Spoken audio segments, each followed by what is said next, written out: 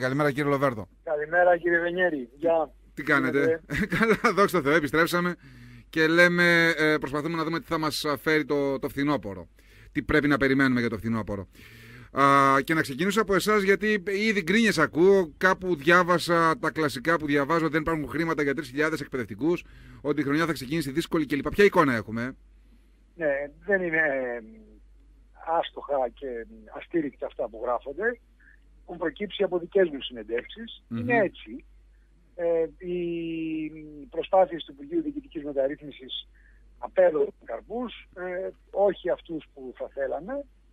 Ε, δηλαδή ε, μας ε, δίνει 3.000 επιπλέον ε, αναπληρωτές ε, για τη θέση των 6.000 που είχαμε Δεν μπορούσαμε δηλαδή, δεν μπορούμε να πάρουμε περισσότερους ε, κατ' εξαίρεση από το, τα ποσοστά 1 προς 10 ε, ε, και ούτω καθεξής ε, παίρνουμε ε, κατ' εξαίρεση, όχι αυτή τη στιγμή, γενικά οι αναπληρωτές είναι εκτός του 1 προς 10, του λόγου αυτού ναι. που έχουν, έχει να κάνουν με προσλήψεις και απολύσεις.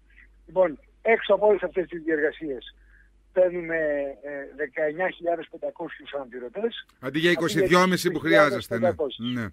Αυτό, ναι. αυτό το, το, το υποστηρίξτε, ξέρω το είπατε στο βήμα αυτό, αλλά εγώ διάβασα και το θέμα του Κοτσιφάκη, ο οποίος είπε ότι είναι 20.000 ε, τα κενά, θα ξεπεράσουν και τις 20.000 τα κενά τα οποία θα προκύψουν. Γι' αυτό είπα ότι ακούω πράγματα ή διαβάζω πράγματα τα οποία δεν ξέρω αν... 20.000 πάνω από τις 3.000 που λέμε εμείς, που θα, θα τα καλύψουμε τα κενά αυτά με παράλληλη ανάθεση. Λέει ότι θα έχουμε ε, και άλλες 17 δηλαδή λέει. Ναι, λέει ότι θα, τα κενά εκπαιδευτικών με την έναρξη της σχολική θα ξεπεράσουν τις 20.000 εξαιτίας χιλιάδων αποχωρήσεων. Ε, εκεί αποδίδει το, το θέμα. Εκπαιδευτικών λόγω συνταξιοδότησεων, ναι, ναι. Πρέπει να εννοεί τα οργανικά κενά. Ναι, ναι, ναι, ναι αφού μιλάει για συνταξιοδοτήσεις. Ναι. δεν εννοεί, τα οποία καλύπτουμε με την αναπλήρωση. Αυτό ναι. το ίδιο λέμε. Αυτές οι 20.000 ναι. συνεπώς λέτε εσείς ότι θα, θα, θα χρειαζόμασταν 22,5 για να καλυφθούν. Το Υπουργείο πληρώνει 19,5. Ο ακριβής αριθμός των θέσεων που ζητήσαμε κύριε Βενιέρη είναι 22.500. Ναι. Ε... Ε, αυτά είναι τα κενά. Ναι. Αλλά παίρνουμε 19.500. Άρα μένουν 3.000 θέσεις προσκύψει με παράλληλες αναθέσεις. Ναι. Δηλαδή ε, κοντινές ειδικότητες, ειδικότητες που δύναται να διδάξει ένας ε, κυρίως ε, καθηγητής δευτεροβάθμιας εκπαίδευσης, ε, λύνουν το θέμα. Ναι. Ε, δηλαδή, έχεις μια ειδικότητα και διδάσκεις συναφές μάθημα. Θα είναι εγκαίρο στη θέση τους όλοι αυτοί, αγαπητέ μου κύριε Λοβέρδο; Ε, γι' αυτό δίνουμε τον αγώνα, κύριε Αυτό λέω. Θα είναι γιατί κάθε χρόνο αγώνας δίνεται, αλλά δεν είναι πάντα επιτυχής ο αγώνας. Δεν ξέρω φέτος ποια εικόνα έχετε; Ή θα έχουμε... Η εικόνα που έχω αυτή τη στιγμή είναι ότι έχουμε πιθανότητες να είμαστε ε, εντάξει. Δίνουμε μάχη, αλλά θα την κερδίσουμε τη μάχη. Mm-hmm. Ε, έχουμε πέσει πάνω από το πρόβλημα και έχουμε σκύψει πάνω από το πρόβλημα και προσπαθούμε να είμαστε τώρα εντάξει για να είμαστε απολύτως ε, ε, στην, ε, στις ανάγκες της στιγμής στις 11 Σεπτεμβρίου που ανοίγουν τα σχολεία. Μάλιστα. Υπουργέ να ρωτήσω κάτι και εγώ καλημέρα η Παλταγιάννη εδώ ονομάζομαι. Ναι. Φέτος βιβλία θα έχουμε; Γιατί πέρυσι φτάσαν Χριστούγεννα και δεν είχαμε. Τα βιβλία είναι από τον Ιούλιο στα σχολεία και ε, ως προς αυτό το θέμα είμαστε ήσυχοι γιατί έχουμε βεβαίωση από όλη την Ελλάδα. Τα βιβλία έχουν φτάσει όχι τώρα τον Αύγουστο, από τον Ιούλιο. Και στην παραμεθόριο δηλαδή. Αυτό είναι σίγουρο. Ναι, εδώ δεν έχει θέμα. Ναι. Μάλιστα. Τώρα, ε, επειδή ο χρόνος πιέζει και θέλω λίγο, προχθές κάνατε μια δήλωση στον Αντένα, συζητήθηκε αρκετά, ε, έγινε μία από τις πρώτες ειδήσεις. Ο Ανδρέας Λοβέρδος επιστρέφει στην κοινοβουλευτική ομάδα του ΠΑΣΟΚ όχι ακόμα στο κόμμα ή ε, δεν τίθεται θέμα επιστροφής και στο κόμμα; Στο κόμμα, ε, τι εννοείται κόμμα, γιατί ε, πάμε να κάνουμε την δημοκρατική παράταξη ένα καινούργιο σχήμα. Όχι, λέω στο υπάρχον Πασόκα, ας πούμε, θα επιστρέφατε; Όλα αυτά θα συζητηθούν ε, στο συνέδριο. Είναι ένα συνέδριο της δημοκρατικής παράταξης. Ε, τουλάχιστον αυτή τη στιγμή έτσι το έχουμε εξαγγείλει και σε αυτό το συνέδριο που προϋποθέτει σχηματισμό που θα γράψει μέλη ε, με άξονα και βάση το Πασόκ πάντα ε, θα είμαστε όλοι.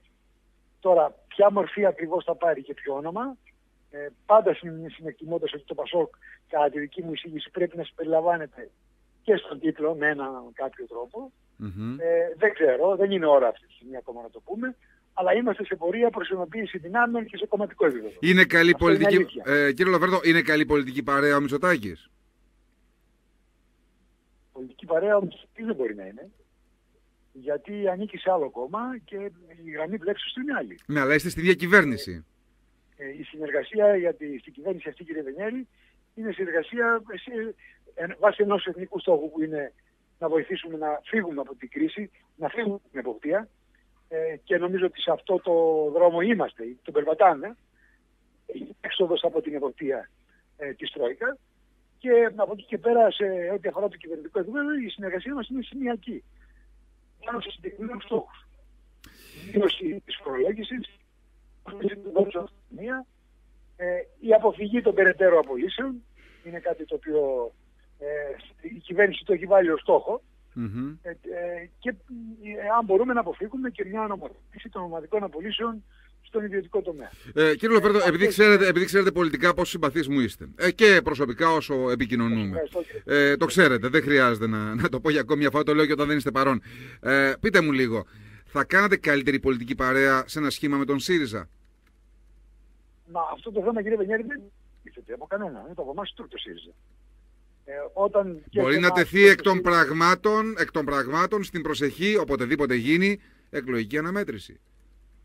Μπορεί να απέχουμε πολύ από αυτήν. Απέχουμε; απέχουμε πολύ. Απέχουμε, ναι. Καταρχάς, οι προβλέψεις ότι θα έχουμε εκλογές Σεπτέμβριο δεν επαληθεύονται. Ε, προς ώρας τουλάχιστον δεν επαληθεύονται. Ε, εγώ δεν έκανα τέτοιες προβλέψεις. Φυσικά σε περίοδο κρίσης δεν μπορεί να αποκλείσει τίποτα. Αλλά προβλέψεις για εκλογές Σεπτέμβριο-Οκτώβριο εγώ δεν έχω κάνει.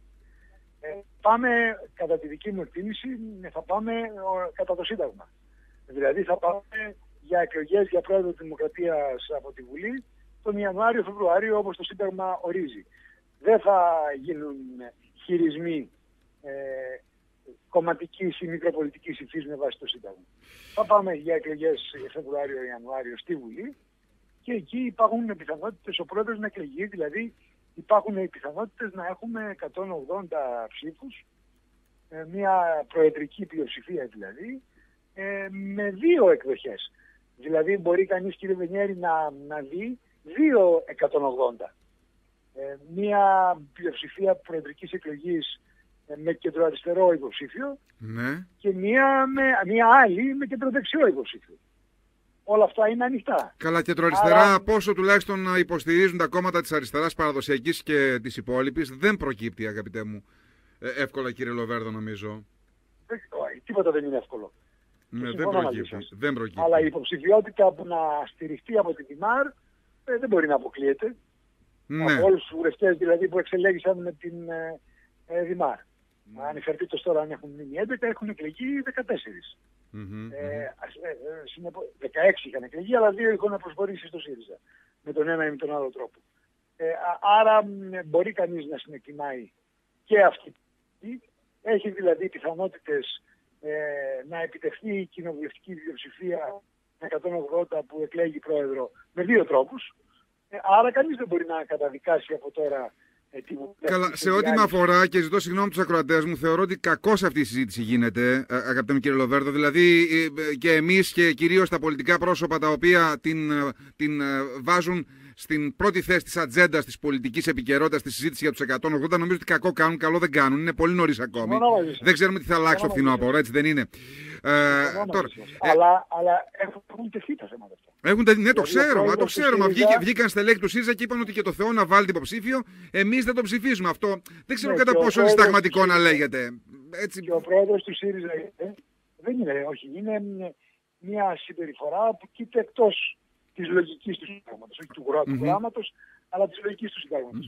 Και μάλιστα ε, από την, ο πρόεδρος του ΣΥΡΙΖΑ είπε ότι αφού είναι να γίνει η εκλογή το Φεβρουάριο, ας γίνει από τώρα. Πράγμα που δεν είναι σωστό, γιατί φαντάζεστε να γίνεται από τώρα εκλογή Προέδρου της Δημοκρατίας στη Βουλή και ο Παπάς να είναι ο νυν πρόεδρος. Τι προσβολή στο πρόσωπό του είναι αυτή. Ναι, μα, δεν υπάρχει μεγαλύτερη προσβολή από αυτήν. Mm-hmm. Να έχει πρόεδρο και να πηγαίνει να εκλέξεις άλλο. Ε, δεν εκλέξεις δεν τον εκλέξεις. Ε, τις εκλογές αν γίνουν νωρίτερα πιστεύετε ότι θα τις συζητήσει; Τώρα η ερώτηση βέβαια ή μάλλον το πω διαφορετικά. Άρα, αν άρα, δεν άρα, θέλει... Άρα, ναι, πείτε μου έχετε κάνει προηγούμενο ερώτημα που είναι εκκρεμές.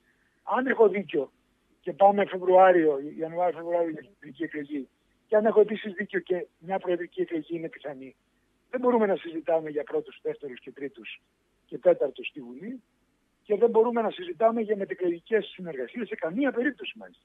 Ειδικά δε για το ΣΥΡΙΖΑ που η συνεργασία αυτή είναι ανεπιθύμητη και από τις δύο πλευρές. Συνεπώς ε, το θέμα τίθεται ε, ε, ε, αντικειμενικά ναι. και σου λέει ο άλλος, ωραία και αν είναι το ΣΥΡΙΖΑ τι θα γίνει, δεν θα έχουμε κυβέρνηση. Και έτσι τίθεται τα ερωτήματα. Μα τα ερωτήματα είναι πολύ συγκεκριμένα επί ε, αβέβαιων και υποθετικών όμως πολιτικών εξελίξεων. Αλλά ναι. δεν μπορεί να υπάρξει απάντηση πολιτική εδώ και όσοι την επιχειρούν ειδικά από το χώρο μας, κάνουν πολύ μεγάλο σφάλμα. Γι' αυτό και εγώ προσπάθησα να διορθώσω, να διορθώσω ναι. αυτό. Δηλαδή παρασύρωμαι και εγώ από μια δημόσια ναι. συζήτηση που δεν την, δεν την υιοθετώ, δεν μου αρέσει, αλλά παρασύρωμαι ως δημοσιογράφος γιατί το έθεσαν άλλη το ζήτημα. Αφήστε δε που τα στελέχη της κεντροαριστεράς που αποτολμούν απάντηση θετική στο ερώτημα αυτό, τα από τους από τα στελέχη του ΣΥΡΙΖΑ. Mm-hmm. Ε... Και λένε δεν σας θέλουμε. Mm-hmm. Λοιπόν, είναι ένας άγωνος διάλογος χωρίς κανένα νόημα. Ξαναλέω πάλι γιατί είναι σωστή φράση αυτή που χρησιμοποιώ γίνονται ε, ερωτήματα όπου απαιτούν συγκεκριμένη απάντηση επί αβεβαίων εξελίξεων όμως. Άρα η συζήτηση δεν έχει νόημα. Δεν βοηθάει το πρώτη σας. Μία τελευταία ερώτηση. Ε, θεωρείτε ότι από, τον, ε, από την υπόθεση ΕΝΦΙΑ και άλλες επιλογές ε, των τελευταίων εβδομάδων ή μηνών έχει πολιτικό κόστος το ΠΑΣΟΚ στην κυβέρνηση ή το χρεώνεται η Νέα Δημοκρατία; Η συγκυβέρνηση ε, έχει, έχει κόστος από τον έμφυα. Και έχουν και τα δύο κόμματα. Γιατί βλέπω μια προσπάθεια του Πασόκ να κρατήσει αποστάσεις από μια σειρά ζητημάτων, αλλά δεν ξέρω. Αυτό σώζει το Πασόκ. Ε, δεν νομίζω ότι μας διευκολύνει το οτιδήποτε αυτή τη στιγμή ε, να, να, διαχωριστούμε σε ό,τι αφορά το, το, τον έμφυα. Γιατί ο λαός, ο πολίτης, ε, ειδικά αυτός πάνω στο πρόσωπο το οποίο έχουν γίνει λάθη κατά τον υπολογισμό του έμφυα ε, μας... Ε, ε, όμως καλό είναι για την ακριβή καταγραφή κύριε Βενιέρη να λέμε τα πράγματα με το όνομά τους. Όταν εμείς ως κυβέρνηση του Παπανδρέου επιβάλαμε φόρο ακινήτων, αυτός ήταν 1,9 δις, αποκλήθηκε χαράτσι και ήταν πρώτο θέμα επί πολλούς μήνες και χρόνια σε όλα τα πρωινά σε όλα τα πρωινές εκπομπές των, των τηλεοράσεων. Ο φόρος ε, του κ. Στουρνάρα, ο έμφυα της Νέας Δημοκρατίας, είναι 3 δις εκατομμύρια, δηλαδή σχεδόν διπλάσιος από εκείνο που είχαμε θέσει εμείς, που είχαμε βάλει εμείς, και θεσπίστηκε αρχές Δεκεμβρίου του 2013 και Χριστούγεννα δεν πρόλαβε να κάνει ως θέμα τις τηλεοπτικές εκπομπές. Ε, όμως ε, τώρα ο κόσμος βλέπει τη διαφορά ε, σε ό,τι με αφορά προσωπικά δεν το ψήφισα τον έμφυα. Ο έμφυα έχει δύο θέματα. Το πρώτο θέμα που έχει είναι ότι έγινε λάθος υπολογισμός του, ειδικά σε κατοίκους, σε πολίτες που έχουν ακίνητα ε, εκτός του πόλεως, σε, αλλά κοντά σε πολεις όπου εκεί έγινε το λάθος του υπολογισμού ε, της, ε, του, του έμφυα με κριτήριο ε, τις ε, τιμές εντός ε, παραπλήσιου σχεδίου πόλεως. Ε, Επίσης ε, το δεύτερο πρόβλημα του έμφυα είναι ότι είναι ακριβώς. Είναι ακριβότερος από το προηγούμενο. Και εμείς που είχαμε ψηφίσει ένα τέτοιο χώρο στο μνημόνιο του 2012 τον είχαμε υπολογίσει κάτω από δύο δις και ως φόρο επί της ακίνητης περιουσίας, όχι επί των ακινήτων. Ναι, ναι. Έγινε μια αλλίωση από τον κύριο Στουρνάρα, έγινε άλλος φόρος από εκείνο που είχαμε προβλέψει ένα χρόνο πριν. Εγώ δεν τον ψήφισα και αισθάνομαι πάρα πολύ καλά με τον εαυτό μου που δεν τον ψήφισα. Η λύση τώρα στο πρόβλημα είναι επίσης διπλή. Πρώτη λύση, να διορθωθούν τα, τα φρικτά τεχνικά λάθη που δημιούργησαν αγανάκτηση σε πάρα πολλούς πολίτες. Αυτό γίνεται τώρα, διορθώνεται. Και δεύτερον, να αντιμετωπιστεί ο έμφυα στο πλαίσιο της συνολικής υπερφορολόγησης που προκύπτει από 4 με 5 φορολογικά μέτρα, τα οποία όλα εξετάζει εκ νέου ο Υπουργός Οικονομικών, ο κ. Χαρδούβελης, και ελπίζω στον προϋπολογισμό του 2015 που είναι τον Οκτώβριο κάποια από αυτά ή να έχουν εξαλειφθεί ή να έχουν μειωθεί ως φορολογική κυβέρνηση. Μάλιστα. Κύριε Λοβέρδο, σας ευχαριστώ πάρα πολύ για την επικοινωνία και για όλα όσα είπατε. Να είστε καλά. Καλημέρα, κύριε Βενιέρη. Καλημέρα σας. Καλημέρα.